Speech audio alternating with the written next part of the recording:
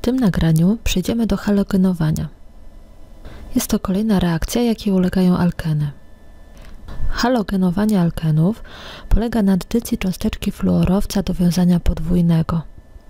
W tym przypadku mamy do czynienia z addycją anti, czyli dochodzi do przyłączenia dwóch elementów po przeciwnych stronach wiązania wielokrotnego w alkenie. Zapoznanie się z mechanizmem tej reakcji pomoże Ci zrozumieć, dlaczego w tym przypadku dochodzi do addycji typu anti. Mamy obecny alken, do którego zbliża się cząsteczka fluorowca. Cząsteczka halogenu jest strukturą niepolarną.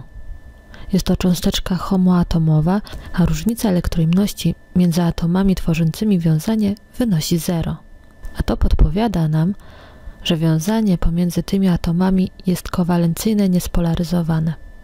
Jednak jeśli cząsteczka fluorowca zacznie oddziaływać z elektronami pi w alkenie, to okazuje się, że elektrony tworzące parę wiążącą we fluorowcu przesuną się w kierunku atomu fluorowca, który jest bardziej oddalony od elektronów związania pi. Ładunki jednoimienne odpychają się.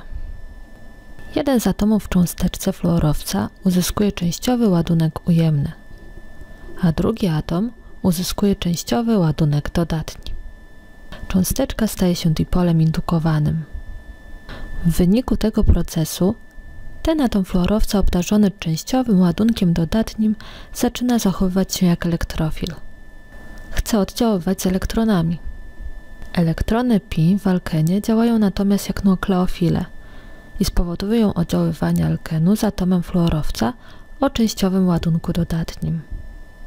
Niewiążąca para elektronowa z atomu fluorowca zaczyna oddziaływać z atomem węgla przy wiązaniu podwójnym. Natomiast wiążąca para elektronowa w cząsteczce fluorowca przechodzi na atom fluorowca, który był obdarzony częściowym ładunkiem ujemnym.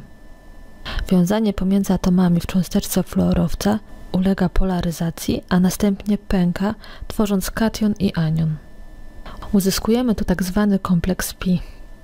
Atomy fluorowców odznaczają się wysoką elektrojemnością, więc będzie tutaj on przyciągał w swoim kierunku elektrony z utworzonego wiązania węgiel-atom fluorowca, przez co na jednym z atomów węgla uzyskamy częściowy ładunek dodatni.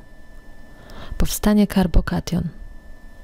Jest to elektrofil, który będzie oddziaływał z anionem halogenkowym.